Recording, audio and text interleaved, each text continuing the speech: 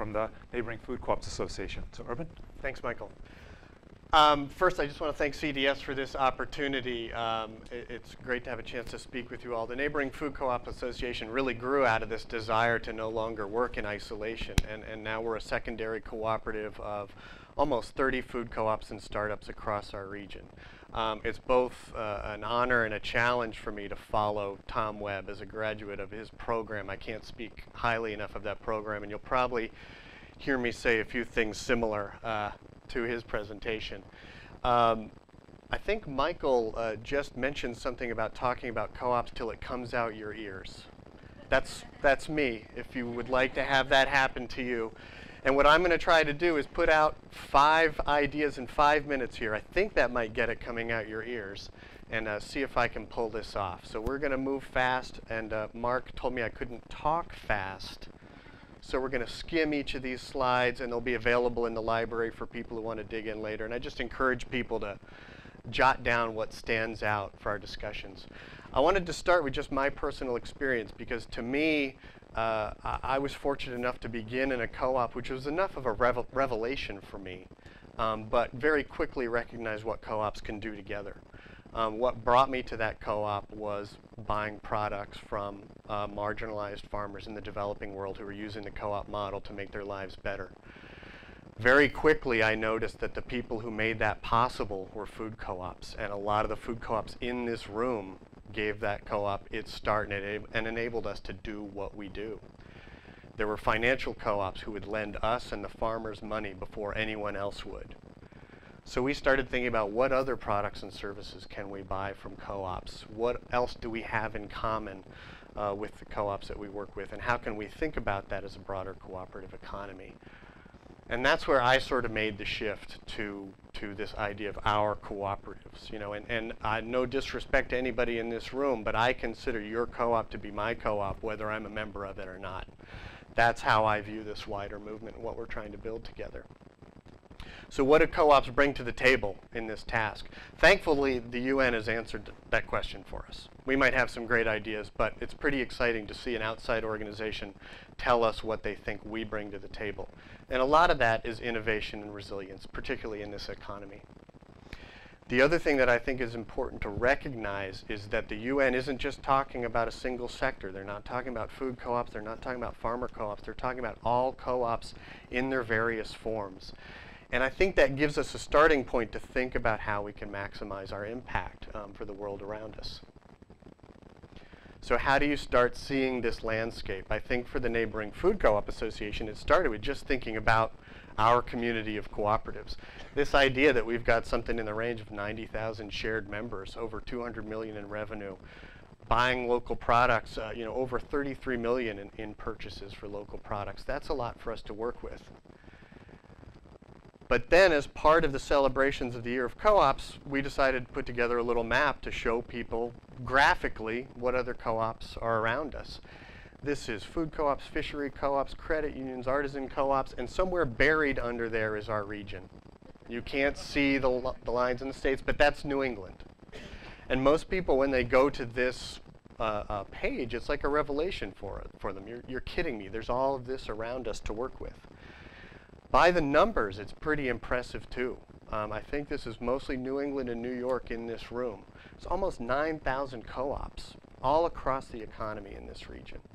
Um, if just a small portion of those co-ops started to think similarly and try to figure out how to work together, we could obviously make a huge impact in this region. If you pull back a little further, you know, 29,000 co-ops in the U.S., one in three Americans. This idea that there are a billion co-op members worldwide, and significantly, that's more than own direct stock in corporations, right? Despite the fact that if you go to business school, you're going to learn about this other model, we've actually got more members.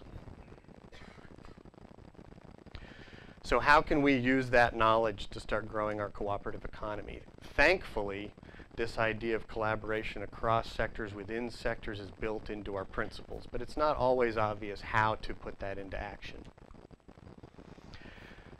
But I think it's important to recognize, and, and the numbers we're seeing around the, the global impact, the national impact, the regional impact, it can only make us stronger to think about the members and revenue and numbers that we have as a group and not just our own sectors. Going from our individual co-op to working within our sector to this wider cooperative economy uh, makes us an answer to the economic challenge in people's lives, to their social challenges. It becomes much more relevant when you can say you can be a member of our co-op and you can also make that uh, real in the rest of your life through these other cooperatives. So what does it look like when co-ops work together deliberately and strategically? Well, you get things like the Mondragon cooperatives in Spain you get things like northern Italy. You know, in Italy, there's more co-ops per capita than anywhere else in the world. But you go to northern Italy, and two-thirds of the people are members of co-ops. Co-ops are contributing a third of the GDP in this region. And this is all because they work together deliberately, both within sectors and across sectors, to maximize business opportunities. And in a sense, uh, uh, what's exciting to me actually is um, this is an old idea. This isn't some new idea I hatched up, or Tom Webb hatched up, or other cooperative leaders, or, or Charles Gould, hatched up. This is something that we've known. Um, and if you look back to the earliest cooperators, their idea was to create this broader cooperative movement that could benefit people across the economy. The Rochdale pioneers, their, their vi vision was not to start a grocery store and stop there, right? They were going to accumulate capital, leverage that buying power to start new co-ops, and spread across the entire economy. That was their end. And in a sense, they succeeded. The Rochdale Co-op never ceased operation. Through a series of mergers, it became part of what's now known as the Cooperative Group, with nearly 6 million members, operating all across the economy, offering their members services in all aspects of their lives, and now, in the face of the year of co-ops, they've come up with this ambitious plan to grow to 20 million members by 2020. So where do we start? From, from my perspective in this region, you start just by trying to see the landscape. What are the other co-ops out there? How can you open a dialogue with them? How can you start small? You know, this is an ad we did with co-ops in uh, western Massachusetts, credit unions, worker co-ops, food co-ops, just to make our presence known how can you show the co-op products on your shelf in the food co-op? When you start thinking about new products, and this is a picture of the, the pilot um, for frozen vegetables we did uh, with the neighboring food co-op association, sourced from a produce co-op called Deep Root Organic Co-op. How can you make that a deliberate process? And for food co-ops that use uh, policy governance, are there some easy ways to embed this idea into your policies and, and the way you operate? And this was actually uh, a sample end that Don Kreis put together when he and I did a presentation at CCMA on basically building cooperation among cooperatives into our work together and bring us back to this concept of our co-ops. And if we can begin to take those steps, I think we're going to lay the groundwork for, for the ICA's vision of this cooperative decade. We'll begin putting the planks in place so that we can step out there confidently and say, we are the business model that you're looking for in all aspects of your life. Thank you.